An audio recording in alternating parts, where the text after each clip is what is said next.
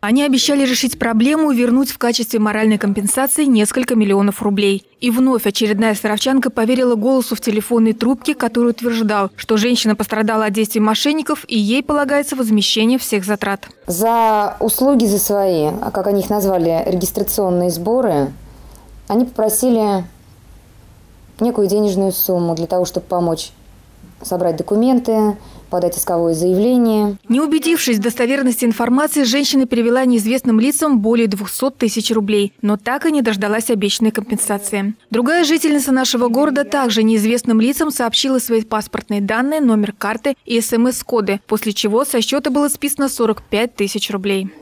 Представились сотрудниками отдела по перехвату мошеннических действий. Якобы это новый отдел в банке.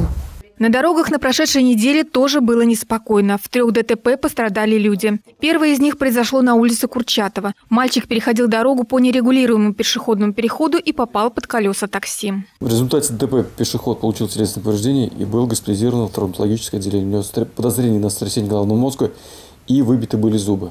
Водитель такси выехал на пешеходный переход, не убедившись, что перед остановившейся слева машиной отсутствуют пешеходы, и совершил наезд на десятилетнего мальчика. Удар был такой силы, что ребенок оказался на капоте. Видео мы изъяли.